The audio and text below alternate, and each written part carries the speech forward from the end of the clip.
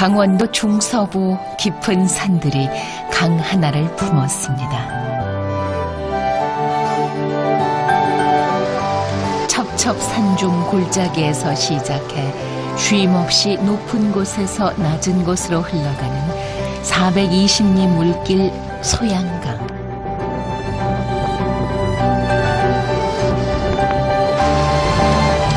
누군가에게는 삶의 터전으로 배기 배기. 야. 아유 그냥 크다.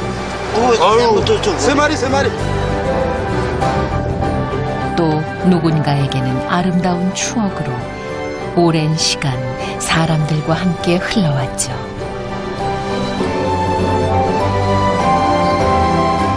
그 굽이굽이 물길마다 품어 안은 소양강의 이야기를 만나러 가봅니다.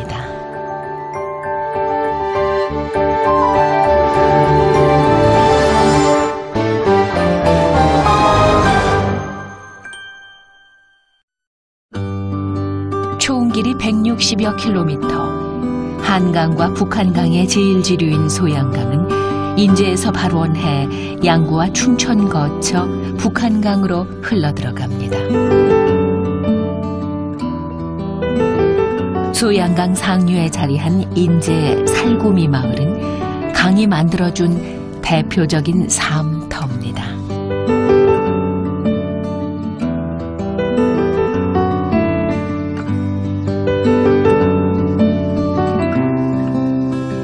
오랜 세월 강물이 휘돌아 나가며 모래와 유기물이 쌓여 만들어진 너른 밭은 강변 사람들에게 필요한 곡식과 열매를 키울 수 있게 했습니다.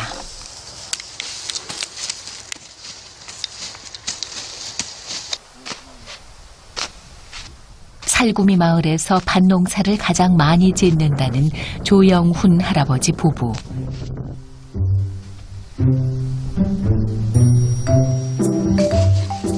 이른 봄 올해도 누구보다 먼저 감자 파종에 나섰습니다.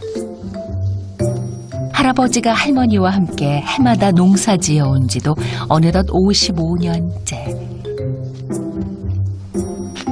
웬만한 농기구는 할아버지가 직접 만들어 사용할 정도랍니다.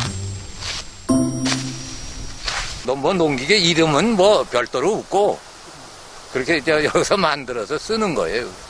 예, 그러니까 자대죠, 자대. 여기면서 여기가 35cm니까. 왜 35cm가? 요 거리면은 크고 작은 게 그게 맞게 나와요. 그 이제 굵고 그렇게 굵지도 않고 또 너무 작지도 않고 그렇게 그렇게 나오는 거예요. 오랜 시간이 만들어준 할아버지만의 지혜입니다. 감자 농사와 함께 봄이면 마을에서 만날 수 있는 작물이 하나 더 있습니다. 바로 마입니다.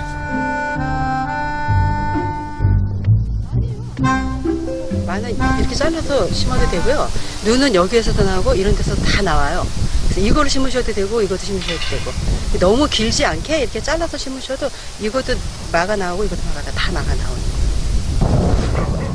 배수 잘 되고 유기물 많은 흙이나 모래 흙에서 잘 자라는 마.